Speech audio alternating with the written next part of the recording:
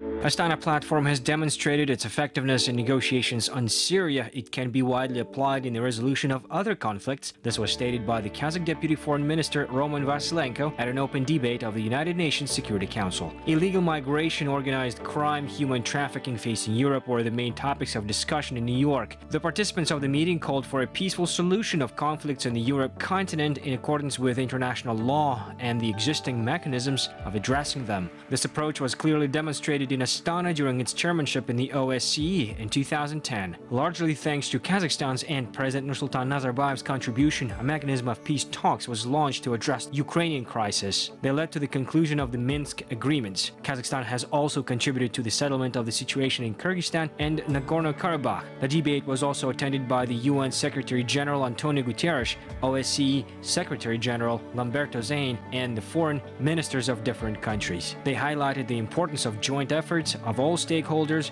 in the maintenance of European stability and security.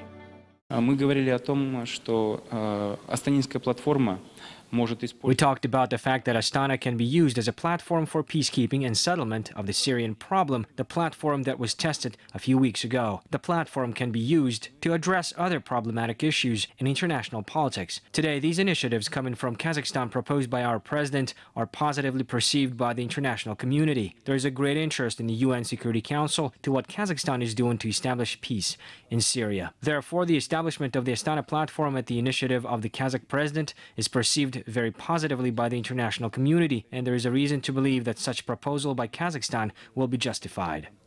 э, способствование у- у- установлению мира в Сирии.